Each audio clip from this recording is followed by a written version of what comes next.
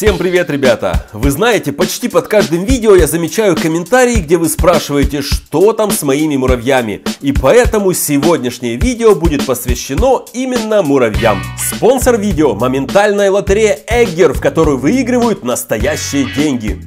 В игре 12 клеток, открывай любую, в каждой лежат деньги. Где-то меньше, где-то больше. Выигрыш моментально зачисляется на счет. Остается только вывести удобным способом. В Эггер играют более миллиона игроков. Сотни тысяч рублей выплачиваются ежедневно. Прямо сейчас переходи по ссылке в описании и получи тысячу бонусных рублей на счет. Вот он мой формикарий, с ним все в порядке. Просто я не снимал какое-то время, потому что не хотел их беспокоить после того случая, когда я ошибся с увлажнением и у меня погибла половина колонии. Но сейчас муравьи немного восстановили численность и живут своей обычной жизнью. Вот королева сидит в своей комнатке, а вокруг нее крутится ее прислуга и солдаты. Вот муравей грызет семечку. А вот хранилище с семенами, где ползают смотрители и переворачивают эти семена, чтобы они не испортились.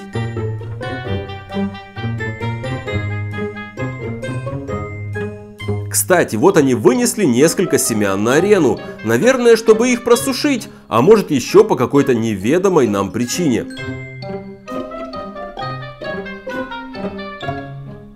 А вот два муравья ухаживают за огромной личинкой, поглаживают ее и покусывают. Наверное, делают массаж, чтобы она лучше росла.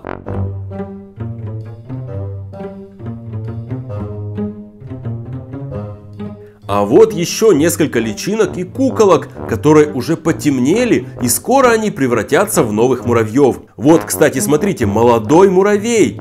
Он гораздо светлее своих взрослых собратьев, но буквально через 2-3 дня он уже становится черным, как и другие. А вот еще один молодой муравей. Сразу видно, что он гораздо светлее своих старших братьев. Интересно, что муравьи почему-то держат своих куколок вниз головой. Вот смотрите, один держит светлую куколку, а вот второй держит темную куколку. Так вот они и висят целыми днями на стенках ходов вниз головой. Не знаю почему.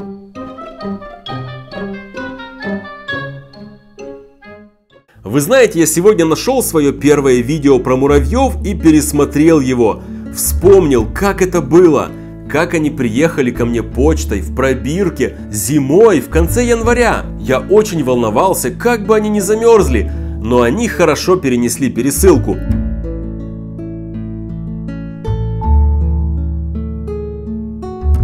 С того дня прошел уже целый год и два месяца. Столько всего интересного произошло с тех пор. Кстати, за это время у меня ушла всего лишь половинка пробирки с семенами, хотя мне говорили, что ее хватит на год. Это, наверное, потому, что я подкармливал их также разными тараканами и мясом. А помните то видео, где я бросил им паука? Его YouTube заблокировал, э, потому что счел слишком жестоким. Может так оно и есть, YouTube виднее. Кстати, сегодня с утра я ел овсянку и решил попробовать угостить муравьев овсяными хлопьями хлопьями. Это же в общем семена, и по идее им должно понравиться. Я взял одну хлопьинку и забросил на арену прямо перед входом муравейник. Муравьи сразу же обратили внимание на эту штуку. Они обступили ее и начали пробовать на вкус. А потом один из муравьев решил потащить овсянку в середину муравейника. Правильно, а то вдруг кто-то украдет вкусняшку.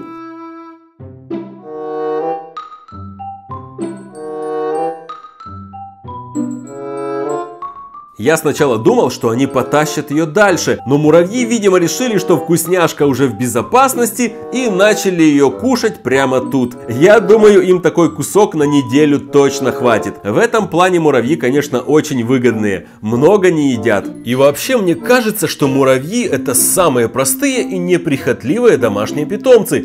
Почти такие же неприхотливые, как, например, растения у вас на подоконнике.